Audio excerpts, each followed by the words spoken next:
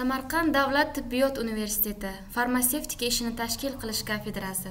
Ikkinchi mavzu qattiq dori shakllari va ularni ishlab chiqarish texnologiyasi. Tabletka tayyorlashda faqat ayrim hollardagina yordamchi moddalar ishlatilmaydi. Aksariyat tabletka yordamchi moddalarsiz va oldindan donador holiga keltirmasdan tayyorlanmaydi. Hozirgi vaqtda bir yuz ellikdan ortiq yordamchi moddalar bo'lib shulardan faqat yetmishtasi davlat ro'yxatiga kiritilgan. Rivojlangan xorijiy mamlakatlarda jumladan amerika qo'shma shtatlari bir yuz sakson oltita firma bir ming qirqta nomli yordamchi moddalar ishlab chiqaradi. G'arbiy yevropada va shimoliy amerikada to'rt yuz yetmish beshta firma ikki ming besh yuz nomli yordamchi modda ishlab chiqaradi. Tibbiyot sanoatida aksariyat yordamchi moddalar shu maqsad uchun ishlab chiqarilmaydi. Shuning uchun ularni kimyo oziq ovqat tog' jinslari sanoatiga ishlab chiqarilgandan foydalanadi. Ular dstga javob beradi ya'ni davlat standartiga javob beradi lekin tarmoq standartiga javob bermaydi. Tibbiyot sanoatida ishlatiladigan yordamchi moddalarning umumiy miqdori juda kam foizni tashkil etadi. Masalan tibbiyot sanoatining qand kraxmal jelatinaga bo'ladigan ehtiyojni mamlakat bo'yicha ishlatiladigan miqdorining nol butun yuzdan uch va nol butun o'ndan olti foizini tashkil qiladi. Shuning uchun ham bularni tibbiyot sanoati ishlab chiqarmasdan boshqa tarmoqlardan ishlab chiqarganni ishlatish maqsadga muvofiqdir.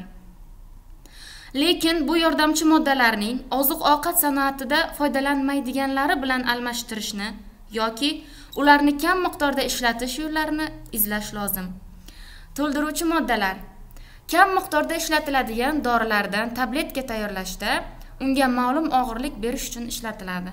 Bularga algin kislota va alginat natriy glyukoza dekstrin jelatin kalsiy karbonat ikkilamchi kalsiy fosfat kraxmal magniy karbonat magniy oksidi mannit ksilit mikrokristallik sellyuloza bug'doy uni natriy gidrokarbonat natriy xlorid ruberozum qand sut qandi sorbit serulozum va boshqalar kiradi to'ldiruvchi moddalarning mo'tadil miqdori gandel taklif qilgan. Qattiqlik indeksini o'lchash bilan topiladi. Bir xil sharoitda har xil og'irlikka ega bo'lgan tabletka tayyorlanib uning sinishga bo'lgan mustahkamligi aniqlanadi.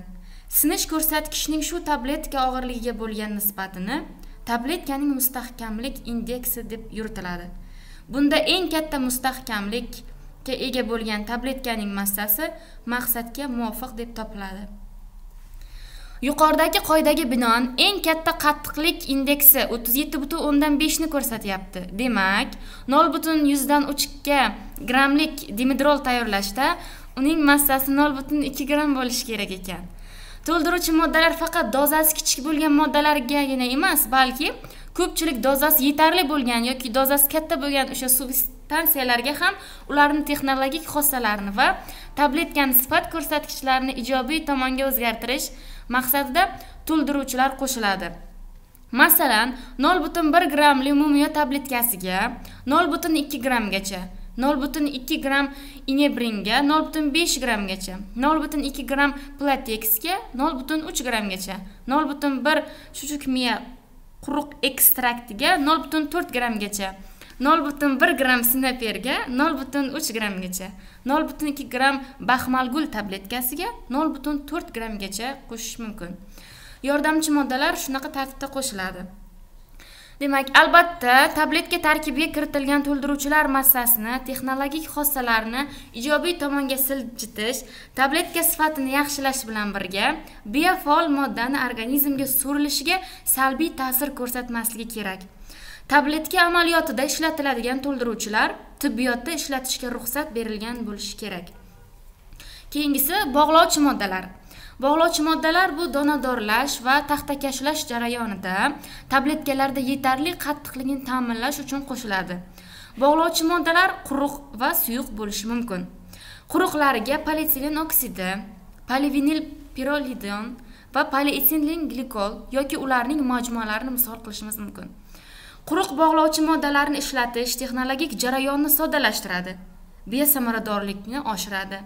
Lekin ular hali yaxshi o'rganilmagan va kam ishlatiladi.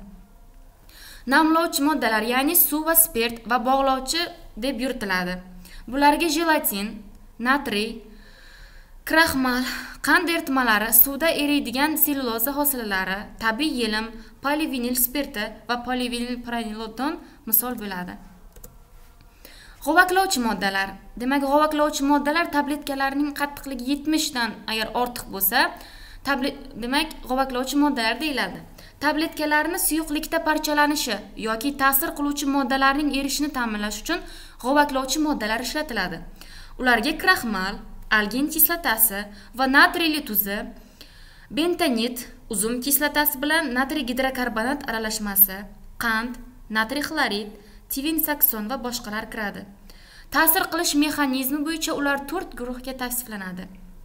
Birinchisi kapillyar tarmoq hosil qilib bu suvni shimib bo'kib shimuvchilarga pektin agar agar tragakant kraxmal jelatina kiradi. Bulardan eng ko'p tarqalgani ya'ni to'qson foiz hollarda tarqalgani ishlatiladigan eng ko'p ishlatiladigani bu kartoshka kraxmalidir. Kraxmal tuxumsimon tuzilishga ega bo'lib tabletka bilan oshqozonga tushganida suvni shimib bo'kadi natijada zarrachalarni turtkilab kapillyar tizimini hosil qiladi. U orqali suv o'tib tabletkani parchalantiradi. Lekin hamma vaqt ham kraxmal parchalantiruvchi sifatida samara beravermaydi. Agar dori modda suvda yaxshi erisa yoki ishqori yer metall tuzlar bo'lsa kraxmal tabletkani parchalantirishi qiyinlashtiriladi. Buni albatta hisobga olishimiz kerak. Ikkinchisi gaz hosil qiluvchilar. Bularga natriy gidrokarbonati bilan uzum limon kislotasining aralashmasi kiradi. Bular vishillovchi va vaginal tabletkalar tayyorlashda keng qo'llaniladi.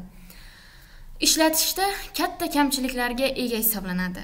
Indiferent bo'lmaganligi taxtakashlash jarayonida qatlamlanib qolishi tabletka massasining ortib ketishi gaz hosil qiluvchilarni qo'llashda ko'pincha bog'lovchi sifatida to'qson olti foiz spirt ishlatiladi.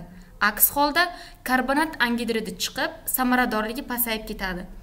Bog'lovchi sifatida suv ishlatilganda donadorlash jarayonida o'ttiz foiz karbonat angidrid yo'qoladi. Bizni olib borgan tajribalarimiz e, qolgan yetmish foiz gaz har qanday tabletkani parchalashini ta'minlay oladi. Dori va gaz hosil qiluvchi moddalar yaxshilab agar aralashtirilsa bog'lovchi modda bilan granula hosil qiladi. Uni quritib 2000 mikrometr elak orqali o'tkaziladi. Antifriksion moddalar bilan upalab presslanadi tabletkani erishini demak yaxshilovchi moddalar. Uchinchisi tabletkaning demak erishini yaxshilovchi moddalar. Suvda oson eriydigan qand sut qandi natriy xloridi misol bo'ladi. Bu holda tabletka olish jarayonidagi bosim ma'lum darajada bo'lishi lozim. Bu guruhga kiruvchilar odatda tabletkalarga to'ldiruvchi sifatida qo'shiladi. Bunday tabletkalar suyuqlik bilan muloqotda bo'lganda suvda yaxshi eriydigan qand eriy boshlaydi. Dori modda karkas holda qolib ketadi va natijada u ham parchalanib ketadi. To'rtinchisi suyuqlik bilan muloqotni yaxshilovchi moddalar ya'ni gidrofillovchi hurlovchi moddalar. Sirt faol moddalaridan tvin sakson va boshqalar kiradi. Hozirgi vaqtda tabletka ishlab chiqarish amaliyotida yuzdan ortiq preparatlar gidrofob moddalar bo'lib ulardan sifatli tabletka tayyorlash uchun yordamchi moddalarni me'yordan ko'p qo'shish kerak. Bu esa biofol moddani besamaradorligiga salbiy ta'sir ko'rsatadi. Shularni hisobga olib olimlar gidrofob preparatlarga cfm ni qo'shib tabletka olish tavsiya etadilar.